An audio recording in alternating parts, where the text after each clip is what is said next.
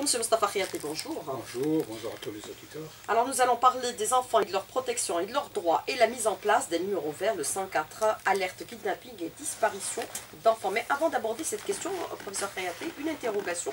Euh, on garde tous en esprit les atrocités perpétrées à l'égard des enfants.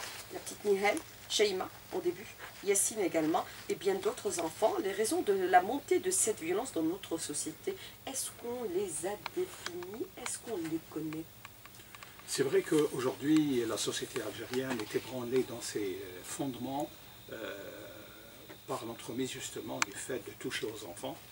Euh, l'enfant a été toujours considéré comme euh,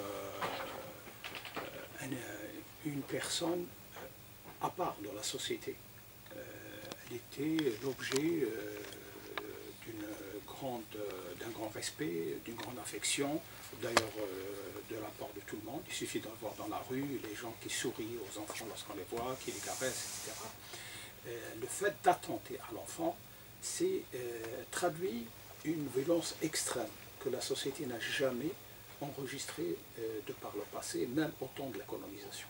Mais qu'est-ce qui justifie aujourd'hui cette violence? Est-ce qu'il y a des raisons à cette violence? Est-ce qu'on peut l'identifier aujourd'hui? C'est clair, il y a certainement il y a des raisons, parce que pour arriver à cela, ça veut dire qu'il y a euh, une conjonction de raisons. Euh, les raisons sont multiples. Euh, c'est un croisement de causes qui sont liées à plusieurs facteurs. D'abord, le, cumul psychologique de plusieurs années de, stress qu'on a enregistré durant la décennie noire, mais également l'inadaptation à, la vie euh, moderne. C'est vrai qu'il euh, y a eu un effort exceptionnel de, faire loger les gens, mais euh, ce transfert dans des nouveaux logements s'est accompagné également d'un anonymat, d'un repli sur soi des, des, familles qui ne se connaissent pas entre elles, euh, d'une inadaptation à, un contexte, à un espace. Euh, il y a également euh, l'évolution du monde qui ne fait que s'accélérer sur le plan des données, de, la connaissance, etc. Il n'y a qu'à prendre comme exemple les nouvelles technologies. il y a également un hiatus qui s'est créé entre la nouvelle génération et la génération donc d'adultes que nous sommes. ce hiatus ne fait que se creuser chaque jour davantage parce que les différences euh, s'avancent. Donc euh, il y a aujourd'hui euh, de nombreuses causes, des causes historiques, des causes psychologiques, des causes environnementales, des causes sociologiques, je dirais même des causes religieuses, parce que même le discours religieux n'a pas su s'adapter, il est resté relativement archaïque, mais également il y a également des causes éducatives. L'école aujourd'hui n'assure qu'une mission d'enseignement, elle n'assure plus une mission euh, d'éducation et de culture. Il est connu aujourd'hui par les spécialistes, sociologues et aussi psychologues et, euh, que euh, euh, celui qui vit de la violence reproduit cette même violence. Vous avez fait référence au début de votre intervention sur le cumul de plusieurs années de stress liés aux années des terrorismes. Mais des études avaient été réalisées sur la prise en charge des séquelles de ce trauma lié aux années de terrorisme. Des études réalisées et présentées la première en 2003. Il y a eu la seconde étude qui a été faite en 2008. C'est des études dont les conclusions ont été prises en charge par les autorités ou les personnes concernées, ou alors c'est des études qui sont restées enfermées dans des tiroirs, Malheureusement pas. Euh, nous sommes un pays qui produit énormément, mais qui ne sait pas capitaliser. Euh, ça, c'est un constat qu'on fait tous les jours. C'est vrai que ce sont des études qui ont été menées par, euh, notamment par la Forem, des études très intéressantes, avec des conclusions pratiques sur la prise en charge d'enfants qui ont présenté un stress post-traumatique euh, dans la région d'Alger, mais également dans d'autres régions. Je citerai Médéa, Bouira, Gigel, Ain Deflat, Yaret, Tissimsit, etc. Donc il y a eu un véritable, euh, si vous voulez, euh, une véritable accumulation de données extrêmement importantes avec des analyses. On aurait pu, bien sûr, prendre en considération ces conclusions et mettre en place une stratégie. Toujours est-il qu'aujourd'hui, nous sommes confrontés avec une violence qui ne connaît pas de limite. Nous sommes arrivés même à des aspects de violence extrême avec les raptes d'enfants suivis d'agressions sexuelles et d'assassinats, également des attaques ou plutôt des agressions contre des personnes âgées pour les voler, etc. Chose que la société n'a jamais donc vue dans le passé. cette violence qu'on est en train de vivre aujourd'hui est devenue tellement importante. Il n'y a qu'à citer avant-hier ou hier euh, ce qui s'est passé euh, Au niveau de nos stades. Euh, lors du match Béjaïa-Oran. Donc il y a un problème réel. C'est pour ça qu'il est extrêmement important et c'est un appel qui est lancé aux décideurs. Il faut absolument mettre en place soit une commission nationale, soit d'organiser des assises pour discuter de ce problème-là et essayer de sortir avec des conclusions qui soient mises, en pratique. On ne peut plus continuer comme ça parce qu'aujourd'hui, on a dépassé le Rubicon euh, de la violence banale. Est-ce qu'on a besoin d'en discuter encore ou tenir compte de ce qui a été déjà réalisé par le passé, comme les études de 2003 qui est intervenues après les événements malheureux, malheureusement, de Ben Talha, où euh, des familles entières ont été décimées avec leurs enfants, et les enfants qui sont restés, vous les avez pris en charge au niveau des centres de Ben Talha, et celle de 2008, et travailler déjà et commencer à trouver des solutions. D'accord, mais je pense qu'il faut qu'il y ait de nouveaux apports, parce qu'il y a euh, beaucoup de phénomènes, phénomènes dynamiques qui interviennent sur les causes. Et donc il est important de faire le point. Aujourd'hui nous sommes en 2016. Euh, bien sûr il faut euh, se référer à ce qui a été déjà réalisé comme étude, mais euh, enrichir cela par de nouvelles donnes. Il s'agit d'être toujours, si vous voulez, efficace dans les mesures. Mais celle de Bentalha 2003, l'étude qui a été réalisée, qu'est-ce qu'elle a démontré? Bentalha 2003, c'est une étude qui, a été, qui, qui s'est basée sur les 426 rescapés du massacre de Bentalha, donc c'est tous des enfants qui ont été suivis pendant 5 ans. Et euh, sur la base de ce suivi-là, des conclusions ont été apportées sur euh, la façon, euh, on s'est aperçu par exemple que 70% présentaient un traumatisme sévère, donc profond, euh, qui se, caractérisait donc par un trouble du comportement, par euh, des difficultés de sommeil, par également euh, une agressivité pour certains, mais un repli sur soi pour d'autres, etc. Et le suivi a montré que beaucoup de ces enfants-là échappaient, ne voulaient plus donc être suivis. certains ont fini dans des prisons, d'autres comme des dealers de drogue, etc. Mais le groupe qu'on a pu suivre, qui s'est relativement bien amélioré, euh, jusqu'à aujourd'hui, c'est-à-dire euh, pratiquement maintenant 16 euh, ou 17 ans après, beaucoup présentent encore des stigmates de, ce, de, cette période-là, à travers des cauchemars, à travers des troubles du comportement, à travers une non-assurance de, soi, etc.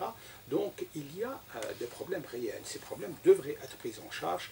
malheureusement, le contexte ne le permet pas pour les milliers d'autres enfants euh, qui ont été traumatisés par la violence. Mais est-ce qu'on peut considérer aujourd'hui, par rapport à ce que nous déclarons, on a tendance à vite tout oublier par ce par quoi on est passé déjà? euh, Une euh, conscience qui a été blessée ne peut pas oublier. elle peut à certains moments montrer une certaine inattention, mais les blessures restent toujours ouvertes. Les blessures psychologiques, ce sont des blessures profondes qui généralement ne guérissent pas, euh, même le, si le contexte. C'est pour ça qu'il faut qu'il y ait une prise en charge réelle de ces personnes-là. Alors hier, c'était euh, bien sûr euh, la célébration de la déclaration des onusiennes des droits de l'enfant pour leur protection. Est-ce qu'on peut considérer aujourd'hui que par rapport au phénomène sociologique dont vous avez parlé, la déperdition scolaire a une grande part également dans cette violence que nous connaissons parce que les, différents chiffres... Si on se réfère un peu aux chiffres qui sont annoncés par la ministre du secteur. Les, les, différents chiffres euh, qui ont été donnés sur plusieurs années du ministère de l'Éducation nationale montrent qu'il y a euh, des déperditions qui sont euh, de l'ordre de, presque 500 000 par an, tous les ans. C'est vrai que le ministère de la formation professionnelle arrive à absorber plus ou moins 300 000 à 350 000, mais il y a quand même 150 000 euh, qui se retrouvent dans la rue. Euh, ces enfants-là vont constituer des réservoirs, de réservoirs de délinquance d'abord, parce qu'ils euh, se retrouvent dans la rue. beaucoup n'ont pas un niveau correct niveau primaire, on peut les considérer comme des analphabètes, et donc avec un degré de, compréhension tout à fait bas. Donc ces enfants-là posent problème et nécessitent également une prise en charge. Aujourd'hui, nous nous retrouvons avec pratiquement 30 000 enfants dans, les rues, donc les enfants de la rue. C'est un chiffre qui est quand même important. il faut absolument qu'il y ait une politique de prise en charge la, prise en charge institutionnelle a montré ses limites. Euh, on voit par exemple aujourd'hui, même si on prend des enfants dans la rue et on les met dans des centres, il y a euh, beaucoup qui sortent de ces centres-là et le chiffre est pratiquement le même entre ceux qui rentrent et qui, sont, qui sortent. Ce qui fait qu'il faut absolument impliquer la société civile dans ce domaine-là.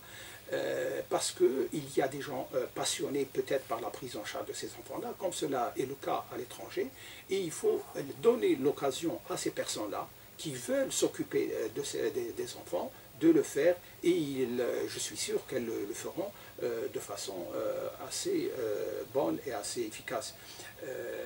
Aujourd'hui, le fait de placer des enfants dans des institutions montre euh, pas uniquement des limites, mais euh, parfois même euh, le contraire de ce qu'on veut obtenir d'eux. ce sont des enfants qui deviennent plus agressifs. et C'est une politique d'exclusion de la société. Voilà, beaucoup d'études ont été faites qui montrent que ces enfants-là, les enfants qui vivent dans les centres, deviennent, pour eux, leur ennemi, c'est la société.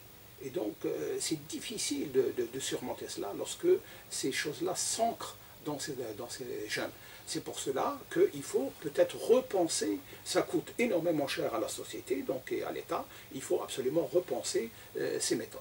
Mais justement, repenser à ces méthodes qui doivent prendre en charge ces enfants aujourd'hui. Vous parlez de la société civile, mais souvent elle est défaillante. Oui, mais elle ne euh, s'implique pas je suis totalement. Mais il faut encourager ces prises en charge. Il faut, par exemple, dans l'attribution des financements, faire des appels d'offres euh, par exemple, le ministère de la Solidarité dit euh, j'ai besoin euh, d'associations qui prennent en charge 100 ou 150 enfants dans telle région. et c'est un appel d'offres qui est lancé. Et il y a un cahier de charge et les gens se présentent. Ça ne peut pas devenir aussi une opération économique, monsieur Non, c'est à but non lucratif toujours, c'est-à-dire sur la base de règles de transparence. Aujourd'hui, ce qui se passe, c'est qu'il y a beaucoup de financements qui sont donnés, mais malheureusement, il n'y a pas de contrôle et euh, on n'arrive pas à avoir des résultats probants. Est-ce qu'il faut agir et agir vite et rapidement pour protéger nos enfants Tout à fait. Et toute la société, parce que les enfants, c'est les hommes de demain. Tout agir, tout et les femmes de demain. Parce que chaque, chaque enfant dont on rate la prise en charge aujourd'hui risque de devenir euh, un problème et un cas euh, demain alors qu'il est adulte. Alors, monsieur euh, professeur euh, Mustafa Khayati, je voudrais revenir un peu sur quelques chiffres et quelques indicateurs chiffrés. Selon la DGSN, il y a eu pas moins de 10 000 agressions physiques. Comment agir face à cette, violence? Est-ce qu'il y a d'autres indicateurs dont on doit aujourd'hui impérativement prendre en charge pour lancer des études sur la société et cette violence? Bien sûr, sait, ces agressions sont liées à plusieurs facteurs, euh, comme on l'a souligné tantôt. il y a maintenant des intervenants, les intervenants euh, sont situés, sont bien identifiés. C'est d'abord la famille, c'est ensuite l'école, c'est le quartier. Et c'est là où il faut intervenir. Euh, aujourd'hui, on s'aperçoit que euh, souvent les parents n'assument pas leurs responsabilités et laissent leurs enfants faire ce qu'ils veulent. L'un des exemples aujourd'hui, c'est que au cours de l'année, cette année qui n'est pas encore finie, l'année dernière, il y a eu plus de 800 enfants arrêtés par euh, les services de sécurité avec des armes blanches. Et ce sont des enfants de moins de 16 ans. Donc c'est préoccupant parce que c'est un nouveau phénomène. Euh, la cause est certainement liée un peu à, Internet. Ce sont c'est l'espace donc non réel où les gens voient qu'on utilise des, épées, qu'on utilise des couteaux, etc. Et ces enfants-là se retrouvent avec des couteaux ou même avec de véritables épées dans leurs affaires scolaire. Donc c'est un problème réel. Qui est responsable? C'est d'abord les parents qui doivent vérifier, qui doivent contrôler, etc. Ensuite, c'est l'école. L'école euh, joue un rôle important. Il faut absolument qu'elle puisse éduquer euh, ces enfants-là à travers, bien sûr, euh, beaucoup d'exemples, mais c'est également les, les, collectivités locales qui devraient agir dans le sens de créer des associations de quartier qui prendraient en charge le temps libre des enfants qui est important en les orientant vers le sport, vers la culture et vers, de façon générale, l'éducation. ces éléments, ce triptyque aujourd'hui n'est pas encore mis en place ou donc n'est pas solide. Il faut le mettre en place de façon à assumer, assurer surtout une protection de l'enfant. comme vous l'avez dit, la, protection de l'enfant ne se décrète pas, elle est un acte de civilisation qui doit euh, être euh, donc exprimé euh, dans le comportement tous les jours de chacun. Alors, autre menace aussi, c'est le phénomène de la drogue. Ça commence par une cigarette au niveau du primaire. Vous avez donné et formulé une étude qui a été réalisée dernièrement où pas mal d'enfants, au niveau du primaire déjà, entre 8 ans et 10 ans, prennent, ont avoué avoir fumé ne serait-ce qu'une cigarette. Alors, ça commence par une cigarette et ça finit par de la drogue. Tout à fait. En fait, lorsqu'un enfant commence à fumer tôt, à 8 ans ou à 9 ans, il a franchi la ligne rouge. C'est-à-dire que cet enfant-là peut également consommer de la drogue si il a l'occasion. Et c'est ce qui se passe en réalité. Euh, c'est ce franchissement de la ligne rouge qui, aujourd'hui, pose problème. Comment se fait-il qu'un enfant puisse le faire? Ça veut dire qu'il n'a pas suffisamment de retenue et c'est un problème d'éducation lié certainement à une certaine permissivité, à certains niveaux, notamment euh, peut-être familial et euh, éducatif. Mais ce qui est relevé, c'est que euh, les enfants aussi génèrent de la violence. Ils ne sont pas seulement victimes de la violence des, adultes. La preuve, c'est que chaque année, il y a pratiquement 10 000 enfants qui sont présentés au juge des mineurs. Et certains sont même, pour des, des violences extrêmes, surtout s'ils ont plus de 13 ans, sont incarcérés. Euh, il y a, euh, et ce phénomène-là, on le voit depuis déjà plusieurs années. On est arrivé jusqu'à 17 000 enfants présentés euh, au juge des mineurs au cours du début des années 2000. Donc c'est un phénomène social réel. certains enfants agissent en bande. Et ces bandes-là sont d'autant plus redoutables que, en fait, il n'y a pas de règle morale entre elles. Tout est permis. Et c'est extrêmement grave. Elles peuvent s'attaquer à des personnes âgées, à d'autres enfants plus jeunes, à des femmes enceintes, etc. Il n'y a pas euh, d'aspect éthique dans leur euh, comportement parce qu'ils n'ont pas justement euh, cette possibilité de l'avoir. Donc il y a aujourd'hui un problème réel de violence qui est lié à, à la présence justement de beaucoup de jeunes qui sont laissés à eux-mêmes. Euh, il n'y a pas euh, donc euh, d'emprise de la famille sur eux, il n'y a pas d'emprise du quartier sur eux, et aujourd'hui c'est eux qui agissent. On les voit dans les rues, on les voit à la sortie Mais des pourquoi ils agissent de la sorte? Est-ce qu'ils essayent de s'affirmer au niveau de la société parce qu'ils ne sont pas écoutés, ils ne sont pas entendus? Parfois même. Est-ce qu'il y a généralement, parfois il n'y a même pas cela. En fait, c'est un peu dans, dans, un groupe comme ça d'enfants, c'est celui qui se montre le, le, le plus il y a toujours euh, donc les petits copains, les petits camarades qui excitent l'un pour euh, qu'il montre qu'il est plus, plus fort qu'eux et il arrive à s'exprimer, à se montrer. Mais est-ce que parce qu'il ne vit pas lui-même au milieu familial des problèmes de, de, violence? Certainement, certainement qu'il y a des, des problèmes au niveau de toutes, les, de toutes les familles qui font que ces enfants-là puissent rejoindre des bandes, c'est clair. Et la bande va agir sur l'enfant parce que la bande est forte lorsque il y a le groupe, mais individuellement ces enfants ont un comportement relativement normal qui pose problème. Et c'est la bande en fait qui fait euh, de euh, ces enfants-là euh, des ennemis sociaux parfois très violents. Alors l'incarcération pose aussi problème pour les enfants, pour des délits mineurs. Faut-il les mettre en prison, les incarcérer, ou faut-il les prendre en charge psychologiquement? Là aussi, c'est une autre question. parce que c'est facile de le prendre et de le mettre en prison. Oui, mais, on ne règle pas pour autant le problème. Les enfants ne sont parce qu'ils sont en contact aussi des adultes. Les enfants et des criminels. En, dehors des crimes de sang, généralement, les enfants ne sont pas mis dans les prisons, mais euh, mis dans des centres de rééducation, dans des maisons, enfin dans des euh, centres disons, où il y a des psychologues, où il y a des, éducateurs. Mais comme je l'ai dit, c'est des centres qui ne fonctionnent pas de façon... Euh, les centres institutionnels qui ont montré leurs limites, Voilà, c'est un problème. Mais euh, disons qu'aujourd'hui, euh, nous avons une politique, il n'y a qu'à lire la loi sur la protection de l'enfant de 2015, où l'État a montré beaucoup de condescendance vis-à-vis des enfants et euh, il y a euh, beaucoup euh, d'aspects protecteurs dans le texte de loi. Ce qui fait qu'aujourd'hui, on peut dire que la loi algérienne les protège de façon assez conséquente.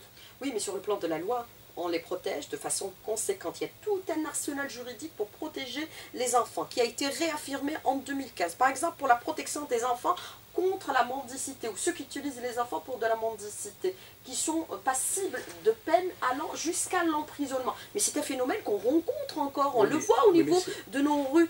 Et vous avez des, des, enfants qui ne bougent même pas, on dirait quand ils sont anesthésiés. C'est vrai. Euh, les, Et personne n'agit. Les, les, les quatre dernières années, nous avons eu droit à des textes euh, très très important pour l'enfance. D'abord le, code pénal qui a été aménagé et revu, dont euh, certains articles sur la mendicité, mais d'autres également euh, de durcissement des peines concernant les, les, kidnappeurs. Il y a eu également la loi sur la protection de l'enfant 2015. Il y a eu cette fois-ci donc le, plan alerte. Donc il y a eu un ensemble de mesures qui sont extrêmement importantes. Parce que la violence, elle est virtuelle. Le problème qui se pose aujourd'hui, il y a un certain laxisme dans l'application de la loi. La loi existe. Euh, je vous donne uniquement un petit exemple. Il y a eu une loi de protection des femmes contre les violences. Y a-t-il une personne qui a été présentée à la justice et, donc, euh, disons, médiatisée? euh, pas, à notre connaissance, je veux dire. pour la mendicité, la même chose. Il y a eu un cas qui a été rapporté par la presse, mais aujourd'hui, on voit très bien qu'il y a énormément d'enfants qui sont utilisés dans un but de mendicité. Donc, le problème qui se pose, et je pense que le général-major Al-Hamel hier l'a souligné, c'est l'information, c'est de donner l'information. Lorsqu'on voit qu'il y a quelque chose qui ne va pas, il y a, lorsqu'on porte atteinte à un enfant, à une personne âgée, à un handicapé, euh, par l'intermédiaire de, la, violence, il faut absolument apporter cette information rapidement pour que les services puissent... Dénoncer en termes clairs. C'est la raison pour laquelle ils ont mis en place le numéro vert. Alors, le, le, 104, ce n'est pas uniquement pour euh, dénoncer, en fait, c'est euh, un numéro spécifique pour euh, recevoir les appels d'urgence lorsqu'il y a une violence extrême qui est en train de s'opérer. Donc ça permet une euh, action rapide des services de sécurité. C'est alerte kidnapping pour agir dans des délais raisonnables avant que bien sûr le pire ne, soit, euh, ne se produise. Ne se produise. mais est-ce que c'est suffisant? Parce que si on se réfère à ce numéro qu'on doit peut-être garder en tête, le 104, c'est très important euh, mais il y a d'autres numéros verts aussi qui sont mis en place. Est-ce qu'on ne risque pas de se perdre? Euh, C'est sûr. Ben, je pense que c'est une évolution normale de la société. Euh, parce qu'on a essayé de réagir à des, phénomènes qui se sont posés à droite et à gauche, mais l'évolution dans le futur, c'est d'aller vers un numéro unique, comme c'est nécessaire, parce que c'est vrai que dans l'esprit des gens, il peut y avoir confusion entre différents numéros, euh, surtout euh, les citoyens, et donc il est impératif dans euh, les prochaines années d'aller vers un numéro unique qui puisse donc regrouper tout ce qu'il y a comme alerte, mais également comme réaction. Ce qu'il faut savoir, c'est que derrière le numéro, il y a tout un dispositif important qui doit se déclencher. Parce que nous, on a l'impression qu'il suffit d'appeler et euh, il y a quelqu'un. Mais euh, lorsque vous appelez, ça veut dire que derrière, il peut y avoir donc, des services juridiques qui doivent intervenir, parce qu'un procureur qui euh, donne une, une donc, un dispositif réglementaire, il y a également des services de sécurité, il y a euh, des services de communication qui doivent être mis en branle, etc.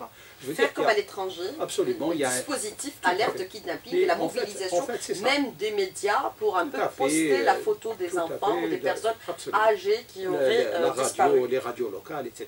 En fait, c'est tout un dispositif qui est derrière et euh, cela montre... Mettre même des placards au niveau des autoroutes pour les automobilistes qui puissent les voir, alerte kidnapping mettre des photos. Absolument. Il peut y avoir. C'est toute une organisation. Mais cette organisation, ce qui est relevé aujourd'hui, c'est qu'on la voit par la mobilisation des citoyens sur la toile. Mais euh, c'est vrai. Chaque fois qu'il y a vrai, disparition d'enfants. et Souvent, on est alerté, les médias, par les réseaux sociaux. Mais en fait, les, réseaux sociaux sont sollicités également par, par l'intermédiaire. Le 104 peut être considéré comme un point euh, donc de rayonnement euh, sur un ensemble euh, de données sociales, institutionnelles, de sûreté, etc. Mais ce qui est relevé aujourd'hui, c'est que les services de police sont très réactifs, ils n'attendent plus les 48 heures pour la disparition et enclencher une enquête. Ils agissent immédiatement quand il s'agit de mineurs ou, ou, de personnes âgées. C'est l'expérience qui le dicte, mais je crois que le 48 heures, c'est déjà une, une ancienne histoire. Aujourd'hui, on sait, plus on agit vite, plus il y a des chances de, de sauver l'enfant, et l'expérience l'a montré.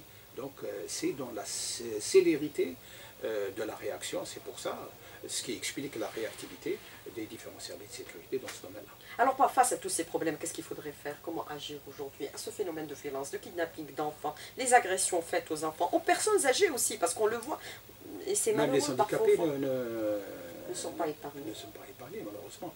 Donc, euh, aujourd'hui, euh, c'est un problème de civilité. Donc, il faut absolument que les gens La violence au niveau de nos stades, au niveau de nos routes. Et pour cela, il faut mettre en place des dispositifs. C'est pour ça qu'il faut qu'il y ait euh, donc, des groupes d'experts ou tout, simplement de, citoyens conscients de ce problème-là qui puissent se réunir et proposer un certain nombre de mesures. Et ces mesures doivent être appliquées pour justement éviter dans l'avenir des dérapages graves euh, de la société. Alors des questions des auditeurs, pourquoi les Algériens ont oublié la décennie noire? Est-ce qu'on l'a caché dans une partie de notre cerveau parce qu'on ne veut pas se rappeler ce qu'on a subi par le passé? Professeur Riati euh, Je ne pense pas qu'on ait oublié, mais tout simplement la page a été tournée, mais euh, les souvenirs restent extrêmement vifs. La preuve, les gens qui ont souffert durant cette décennie le restent aujourd'hui, malheureusement. Alors, autre question des auditeurs, est-ce que vous pensez que ce numéro sera fiable, le 104. Oui, alerte je, kidnapping? Je pense que c'est Il y a eu celui de la gendarmerie aussi, celui de la police qui sont c'est différent. C'est différent. Euh, je pense que le 104 est un, bon chiffre choisi parce qu'il est constitué de trois chiffres. Il est simple, euh, plutôt qu'un 15 quelque chose. Euh, où souvent les, les, gens se trompent. il y a le 1548, il y a également le, numéro également de la gendarmerie, mais il y a d'autres 15 également. Il y en a, ils sont nombreux. Euh, et ça pose problème justement dans la, répétition de ce chiffre. Donc c'est pour ça que je pense que les services de sécurité ont choisi le 104 qui est plus simple et qui, euh, qui peut être mémorisé assez rapidement. Alors à quand la définition du viol dans le code pénal algérien? On parle de violence mais on ne parle jamais de viol à l'égard des enfants. En fait, qu'il y a ce phénomène aujourd'hui dans la société. Euh, au fait, le viol est restrictif. C'est pour, ce, pour cela qu'il n'a pas été défini. Aujourd'hui, on parle d'agression sexuelle. Les agressions sexuelles, c'est une panoplie euh, d'actes qui peuvent, dans le, disons l'acte le, plus extrême est le viol.